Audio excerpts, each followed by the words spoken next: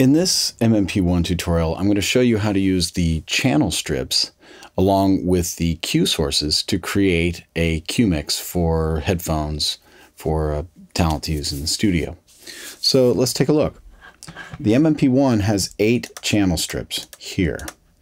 Each of these channel strips can have an audio source, uh, maybe it be a microphone from the studio or uh, the output of an instrument, a keyboard, something like that.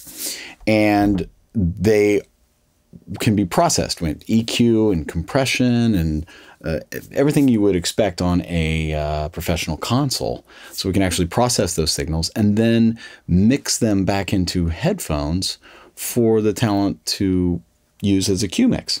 Um, you can also record those signals too as a separate path.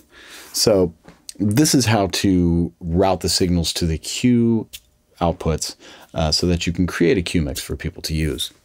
So we have the eight channel strips. But before we'll actually be able to hear these channel strips in the cue mix, we need to go to the Monitor Matrix tab. Now, when you first get to the monitor matrix, um, you can see all the uh, uh, sources over here, the external monitor sources, including the cue sends, and then the outputs up here, the main monitor output, and then the two cue sends in this case, and two studio speaker sends uh, in this configuration. There, of course, can be more. The channel strips are located at the very bottom of the monitor matrix. They are the last eight um, strips, the last eight lines in the monitor matrix here. And what we can do is assign channels to cue outputs like this. Now, one thing to note in the cue mixer, there's a pan control. So if you want to be able to pan those individual channels within the uh, the cue mix, the headphones, um, we have to assign either the left or the right channel output of that channel strip to the cue mix. This is how you do it. If you control click or right click on the assignment button, you can assign just the left output of that channel strip to one side and then the right output of that channel strip to the other side, to the right output of the cue mix. Now, if I use the pan control, that signal source on that channel strip will pan between the left and right channels of the cue output. So I can continue to do that for all of the channels in the cue mixer and so forth and so on.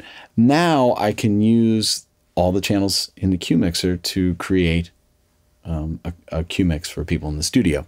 Now that those signals will be mixed together with the cue source input as you've had it defined. In this case, uh, the cue source 1 is coming from Dante 7 and 8, which is an, uh, an output of the Nuendo workstation in this case, but it can come from anywhere.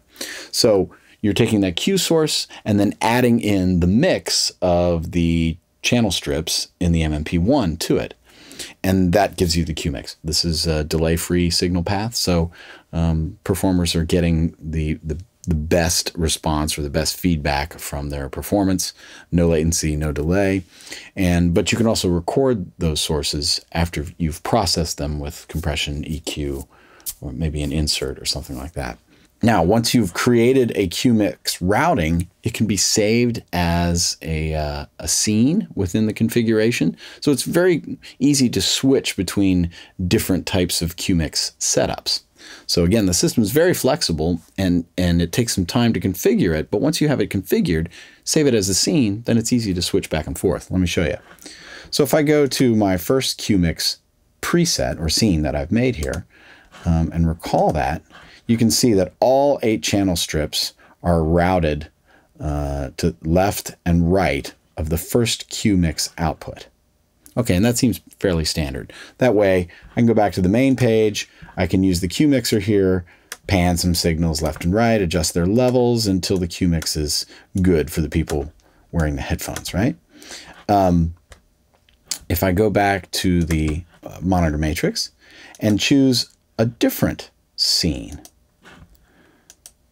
if you notice, some of the channel strips are going to Q2 and not to Q1, while others are going to both cues. So again, you can get pretty sophisticated with the routing of, of, of the channel strips and the cue mixes.